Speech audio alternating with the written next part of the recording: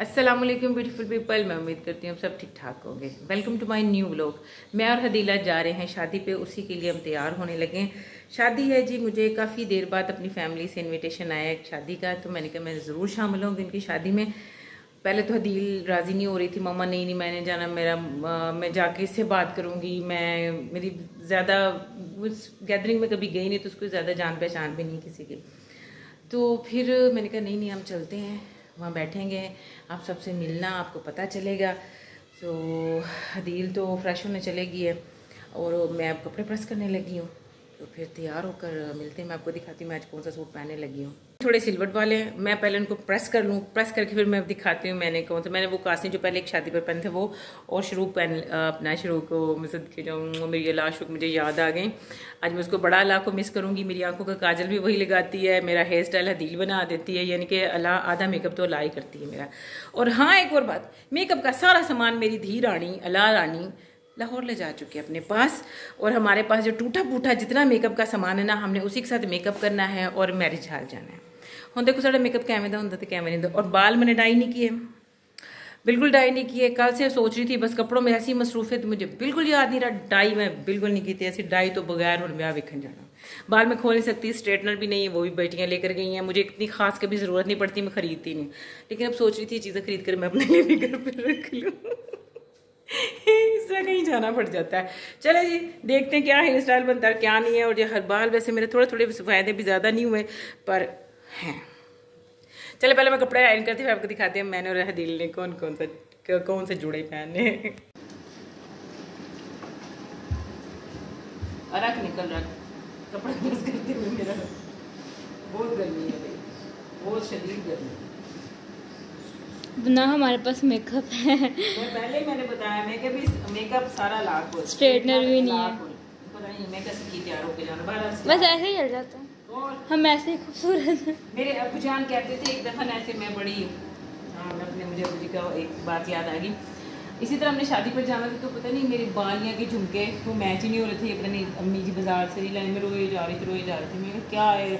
आ, मैं ज्वेलरी कौन सी पहन के जाऊँ? मेरे पास अब ज्वेलरी नहीं है ये है वो। अच्छा अबू जी बड़े प्यार से अबू जी ना सो दिया छुट्टियों पर मैं आए हुए थे तो मेरे पास इतने प्यार से आके कहते मेरा प्यारा बेटा क्यों रो रहे हो आप? खूबसूरती की तो खूबसूरती को जेवर की तो ज़रूरत नहीं होती। वो क्या मुहावरा है इंग्लिश में? Beauty needs no something something करके। बेटा खूबसूरती को तो जेवर की बिल्कुल ज़रूरत नहीं थी। मैं कहा मुझे ना मस्का बड़ा अच्छा लगा लेते हैं। और अगले बंदे को राज़ी कर लेते हैं कि हाँ ये बात ठीक है बस अब खुश हो जाओ कहते मैं सच्ची बात कह रहा हूँ ज़रूरत ही नहीं है मेरी बेटी ज्वेलरी के बगैर इतनी प्यारी लग रही है। चलो तुम अब फटाफट अपने मुँह को कुछ कर लो। चलो जी हदील का तो मैंने क्या थे प्रेस करके दिखाऊँगी। ये देखे इसकी लुक अभी हाँ अब आप पहनो अपने ऊपर से अपर फिर मैं दिखा कितनी देर से खड़ी हूँ? आधा घंटा होने वाला है। और इसको प्रेस करना इतना मुश्किल है। कुशन रख रख के इसको प्रेस करना पड़ता है। इतने कॉम्प्लिकेटेड कपड़े क्यों बनाती है मेरा बस। बस। बस। बस अड्डे पर है। मम्मा की फुल लुक। इसके दुपट्टे को मैंने काफ़ी मेहनत की थी शादी में पहना था मैंने। नज़र आ रहा है? हम्म दिखाया मैंने। और हमने आज का जितना भी मेकअप है ना मैंने आपको पहले बताया था मेकअप घर पे बिल्कुल ख़त्म हुआ अगर कोई नुक्स नक्स हो आया था प्लीज़ नाम निकाल लें। हमने लिपस्टिक से ही साड़ी को अपनी वो जो क्या कहते हैं हम क्या बोलते हैं उसको बेस से पहले लगाते हैं मेरे मेकअप की चीज़ों का कलर करेक्टर हाँ कलर करेक्टर में मैं ऑरेंज लिपस्टिक के साथ किया है सारा कुछ। तकरीबन आधी लिपस्टिक है शुक्र मेरी बीबी क्रीम पड़ी थी वो लगाई है हमने। और टूटे, फूटे से, छोटे छोटे थोड़े से वो फेस पाउडर पड़े हुए थे, वो हमने ऐसे से ब्रश पता कितना सा था? छोटा सा ब्रश वो हमने आपको दिखाया नहीं। कमरे में ना रोशनी बहुत कम है हमारे जो काफ़ी बल्ब जो है वो काफ़ी फ्यूज़ हो चुके हैं, जितने मैंने नहीं लगाए थे। उसकी वजह से मैंने आपको मेकअप जो हमारा था ना ट्यूटोरियल वो नहीं दिखाया कि कितना औखा हमने मेकअप किया है। मैंने ये है मेरी हदील की फुल लुक माशाल्लाह से। इन्हें भी टूटे फूटे मेकअप ना अब कानों में कुछ नहीं पहन रही कहती मैंने इयर वगैरह कुछ नहीं पहनने। ये माशाल्लाह से। हाँ ये काफ़ी देर से ना तैयार है वैसे। हदील वैसे काफ़ी देर से तैयार है और मेरे इंतज़ार में बैठी हुई थी। पहले मेरा मूड नहीं था शादी पर जाने का फिर मैंने इनके चच्ची से पूछा कहती हाँ फिर मैं भी जा रही हूँ। मैं क्या चलो मैं भी काफ़ी टाइम बाद अपनी फैमिली में कोई शादी अटेंड करने जा रही हूँ तो लाजमी जाना चाहिए उन्होंने बड़े प्यार से बुलाया। तो मैं वेट कर रही हूँ वो मेरी जो वर्कर है सीना उसके हस्बैंड को जो अपनी कार रेंट पर देते ना उनको मैंने बुलाया था। हम उन्हीं का इंतज़ार के जैसे बातें फिर हम चलते हैं मैरिज अब हम जाने लगे हैं।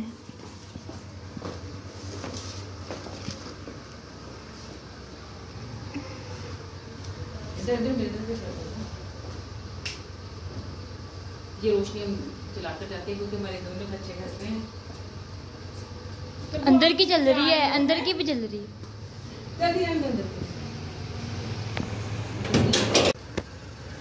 इधर से चलिए आप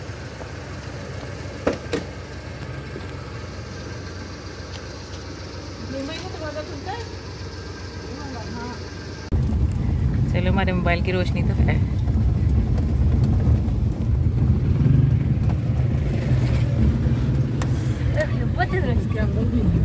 हैं। अंदर भी है चले अब हम जा रहे हैं मैरिज हॉल तस्लीम हमें लेने के लिए आ गया है।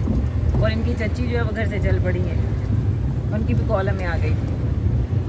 कल पहुँच गए हैं ये पकड़ना ज़रा। यहाँ खड़ा कौन है और बैठा कौन है?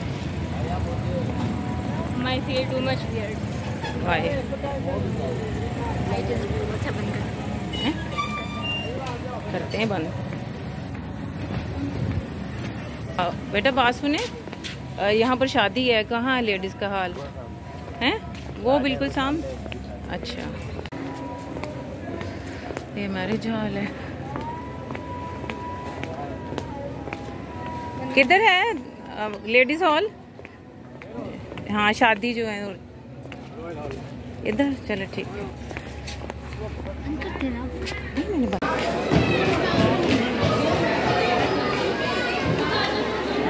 बंद कर देना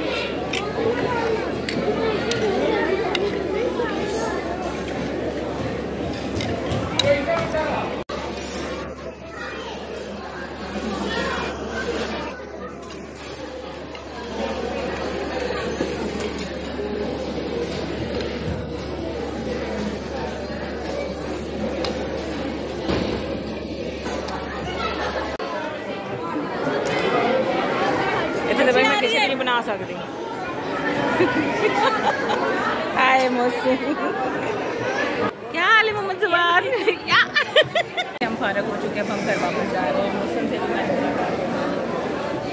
हमें चाय नहीं मिली। पूरी एक्सप्रेस कर दूँ। हाँ चलो। हाँ हमें ऑटो करवा दो। आई थिंक वो जगह गई है हाँ। हाँ बिल्कुल ठीक है। हमारे गाड़ी पे तस्लीम कहती हूँ उनकी गाड़ी जा चुकी है। तो हम ऑटो करवा के घर वापस जा रहे हैं। अभी एसी जो है ना इजाज़त नहीं दे रहा। कहता अभी ना मुझे चलाएँ अभी ना मुझे चलाएँ मैं कहा चलो ठीक है हम आपको नहीं चला रोज ऐसे को ताक के फिर हम कहते हैं किसी दिन तो तुम चलोगे। हाँ किसी दिन तो एक तुम दिन चलोगे।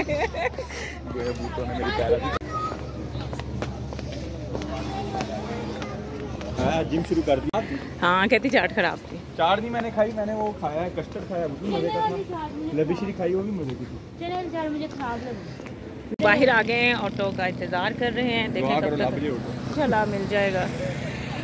सर। असि फिर भी सिगरेट यार है। सीक्रेट हम अभी तक खड़े हैं ऑटो रिक्शा नहीं मिला हमें। तस्लीम ने बड़ा धोखा करता। हम्म? आ जाना इंशाल्लाह। अल्लाह अल्लाह हाफिज। तो जी हमारा रक्षा आ गया। सुबह मैंने खानी है मैं आ रहा हूँ।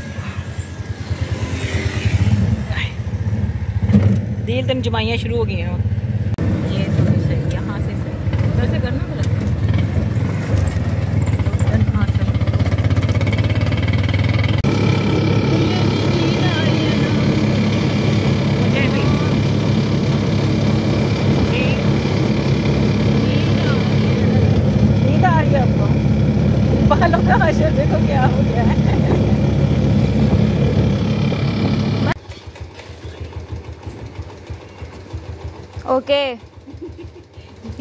ऑटो से उतरना इतना मुश्किल है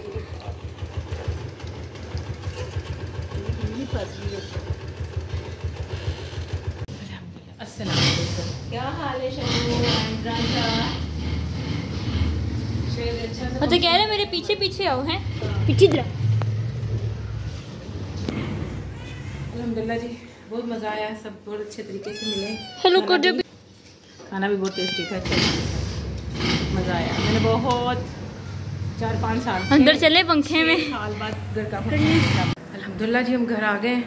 शुक्र अल्लाह का। जिस टेबल पर हम बैठे हुए थे ना वहाँ पीछे दो एसी चल रहे थे। इसलिए गर्मी का ज़्यादा एहसास बिल्कुल नहीं हुआ। और मेकअप हमारा वैसे ठीक ठाक ही रहा। मेकअप का सामान तो कुछ खास हमारे पास मौजूद नहीं था पर हमने मेकअप कर लिया।